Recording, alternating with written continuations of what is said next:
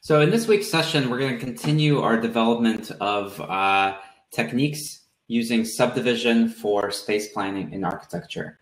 So last week we started this topic and we looked at the concept of recursion and recursive algorithms and saw how we can use recursive algorithms to model complex kind of stepwise behaviors um, that rely on applying the same simple operation repeatedly to a set of smaller and smaller parts and we looked at that in a demo when we modeled uh, the process of a branching tree. Um, so last week we looked at um, basically developing a recursive system uh, model based on specifying a small set of rules. So here we had rules for uh, basically what happens at a particular point in the tree. And the behavior can be basically do nothing to stop the branching, branch once or branch twice.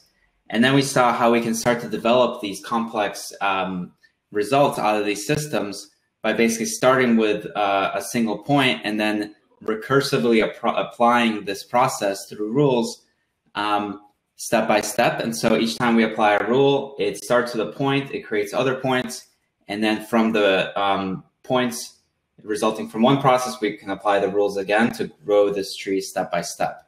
And the cool thing about a recursive system like this is that we can generate pretty complex results. Like the final models can be very uh, complex, uh, like these uh, branching trees, uh, but they're driven by a combination of just a small set of parameters and these baked-in rules. So it's the rules, these three rules, plus these five parameters create this tree.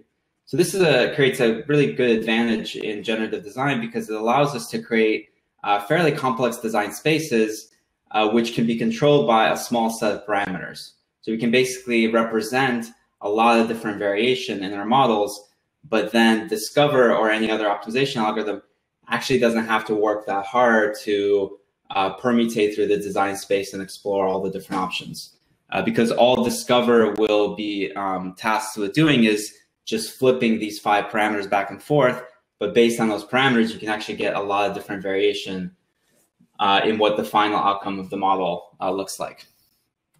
So what we're going to do this week is we're going to take the exact same approach, but now instead of using a recursive system to model uh, a, a, process of growing a branching tree, we're going to apply the same concept now to subdividing a space. And this is going to lead us into our discussion and modeling of a floor plan through a process of subdividing um, a, a starting space over and over to create a set of smaller spaces within.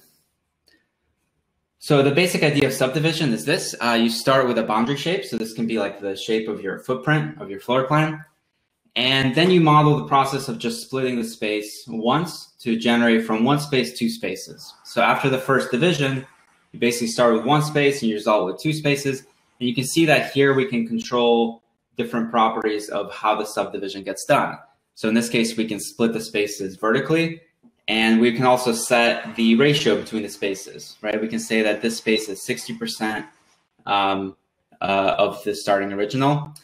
And the key here is that the process uh, is modeled recursively so that we don't just split once. Once we do the original split, we can repeat that process for the spaces um, that result, right? So in this case, we create two spaces and then we take the first space uh, and split it again. And we can apply this process recursively, but now instead of starting from a point and growing, we're actually starting from a shape and cutting it recursively uh, to develop our final spaces. So let's look at this process step by step and again look at how we can actually parameterize this model because it's not enough to just represent a model that can take a space and cut it into a bunch of parts. We want to be able to control the final layout of the space, but like any recursive system, we kind of abstract that control so that the parameters aren't dictating exactly what the final spaces look like. They're just dictating how the rules of our model uh, get applied. So here I have a kind of step-by-step -step diagram of this recursive subdivision process. On the left, we're going to see the space layout uh, that we're going to form. Um, on the right, we're going to actually look at the parameters that can drive that subdivision process.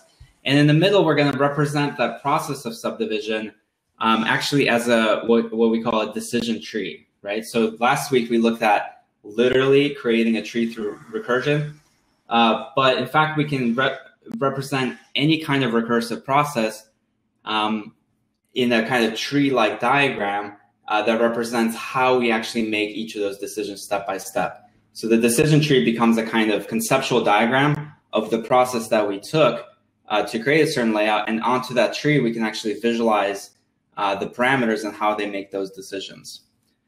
Um, so we start with uh, our boundary space. So we have one space.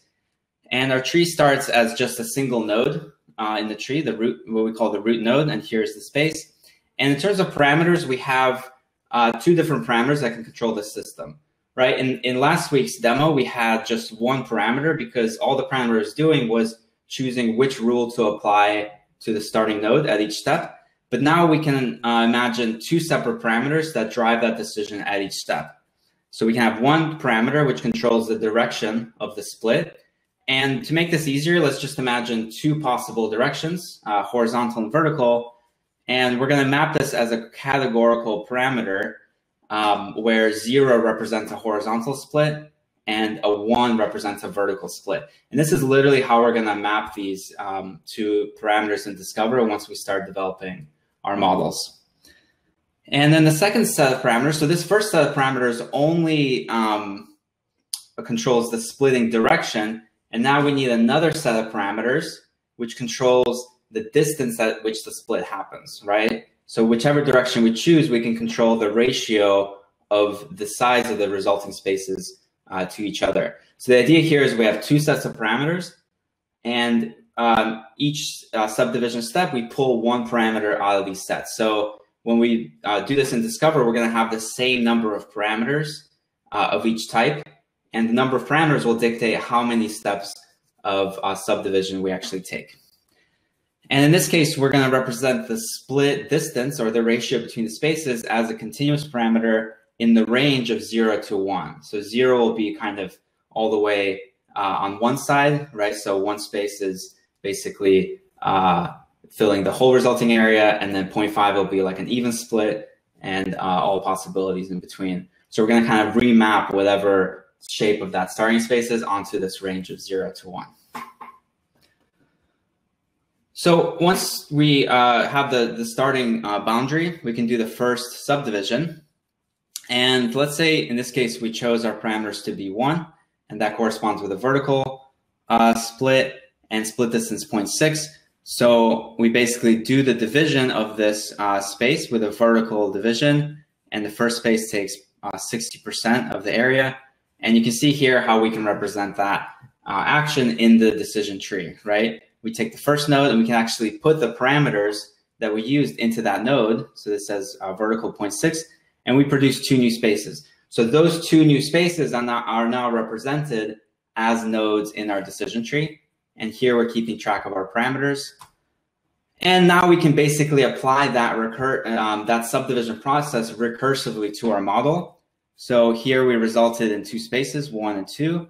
And now we choose the second space, apply the same process. And you can see how we actually represent this recursive process now as a tree, even though we're not modeling a tree, it's still a good way to show sort of how we can apply that process over and over again uh, in the model. And in this case, uh, we start with this space over here and we split it horizontally um, using a, a, split distance of 0.5 that will basically split the, the space in half.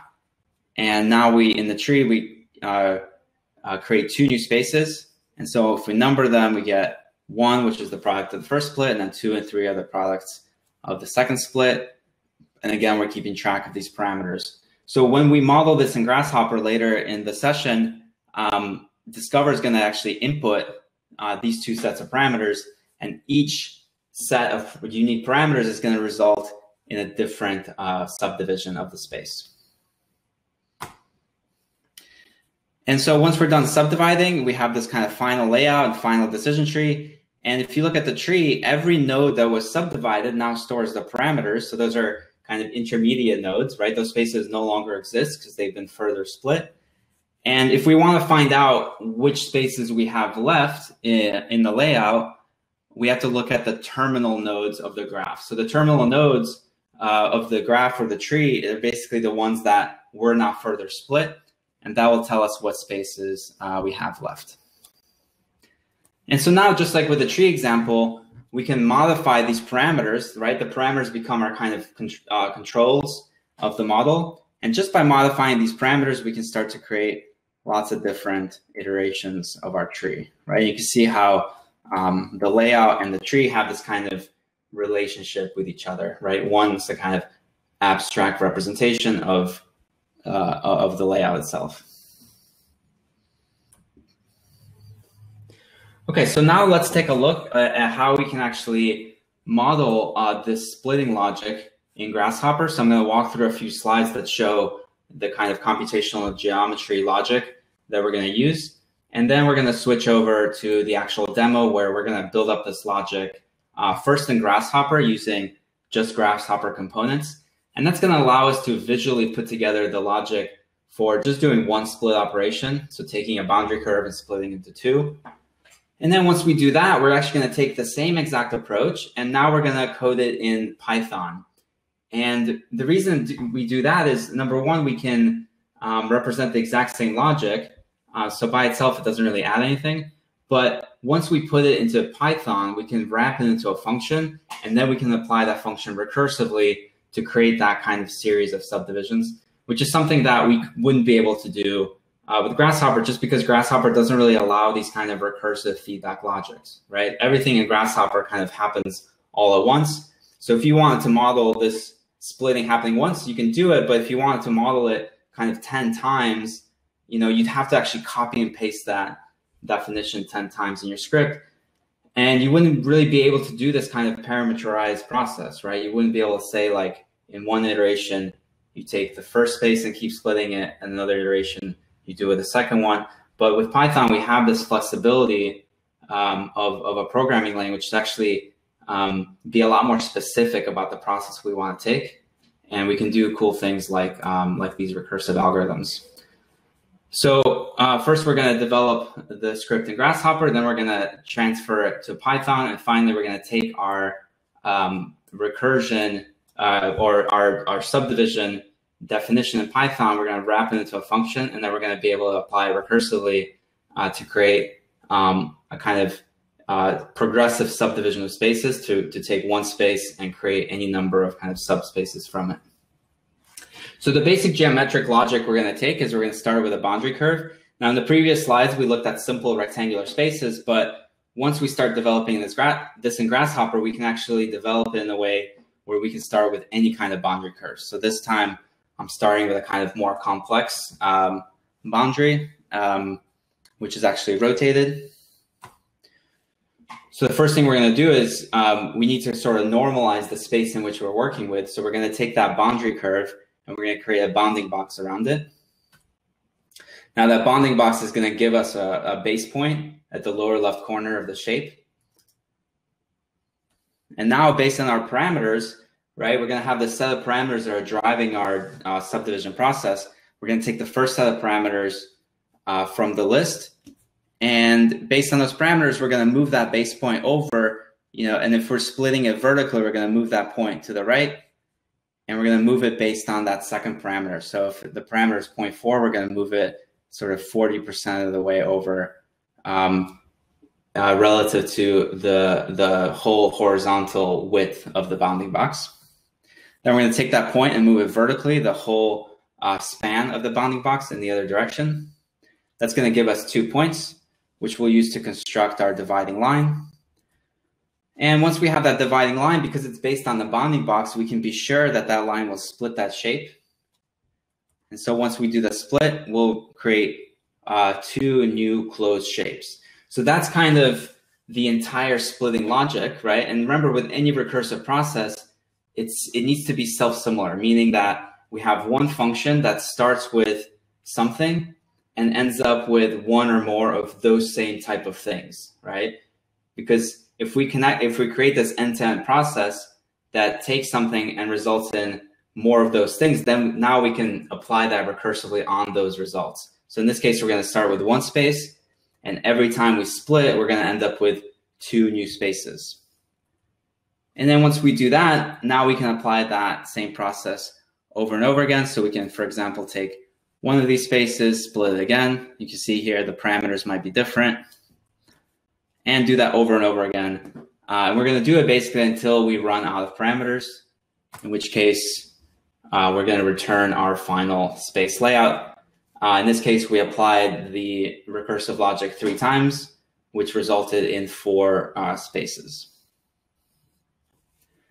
And finally, once we build up our entire logic, uh, we're going to be able to uh, hook up our model to Discover. And now Discover will uh, create those parameters for us. And we're going to tie it to some objectives in our model. So for example, we can uh, ask Discover to create a subdivision. In this case, we're dividing the shape into 10 spaces.